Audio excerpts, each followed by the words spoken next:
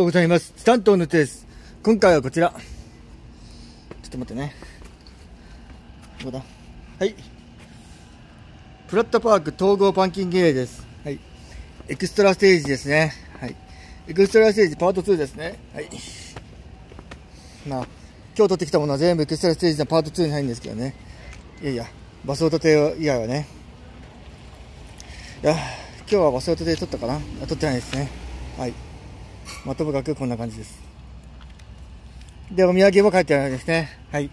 お土産はこんな感じなんで、で、でわざわざ買う必要はないかと思いますが、で、お土産の中身はというと、はい。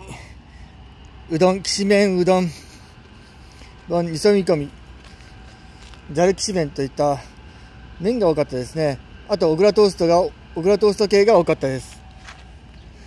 で、この辺りはというと、まあ、こんな風にひなびた場所なんですけどね。はい。まあ、名物はあってますね。ひなびた場所という名物に。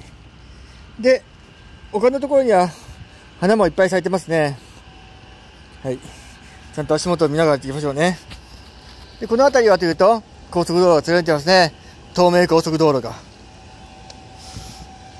はい、こんな感じです。うん。で、この、で、今日は豚汁セットを食べました。はい。今日というか今回はですけどね。はい。うん、まあこんな感じですね。次回のちょちょいパクパクツアーは、じゃあ、エクストラセージちょいパクパクパクツアーは、に行きたいと思います。どこに行こうかな？次回はどこに行きましょうかね。まあ、次回は愛愛知県の残ったところところを見て埋めていきたいと思います。はい。じゃあ、こんな感じかな。